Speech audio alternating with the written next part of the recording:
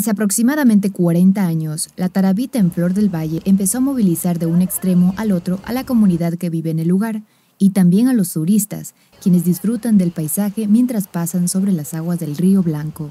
Los pobladores que viven en este sitio afirman que necesitan un puente que les permita movilizarse con mayor facilidad hasta los sectores aledaños, más aún cuando por emergencias tienen que tomar largos caminos. Ponga que a medianoche me coja una buena enfermedad, de ley tengo que llego más, más lejos, pues, demoro para llegar allá. Y por acá, si, si viendo un puente, sale, un, sale rapidito para la, a la Concordia. Pues.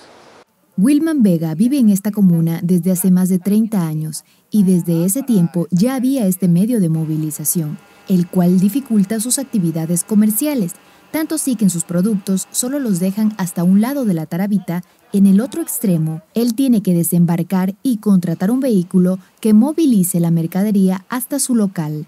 Cuando traigo más producto tengo que hacer dos, tres viajes. No pasa en un solo viaje. Hoy porque traje poco es que está pasando, estoy pasando en un... Igual de aquí me toca otro transporte para llevar a mi local. Antes de la pandemia, los turistas frecuentaban más este sector y aunque poco a poco se han reactivado las actividades en el sitio, aún no alcanza el mismo número de visitantes. Los fines de semana era cuando más personas llegaban desde diferentes puntos del país hasta este lugar. Bajó harto el, turismo, no, no, no, no entraba. Por el miedo, el COVID por ahí no, estaban cerrados un poco, no, no van.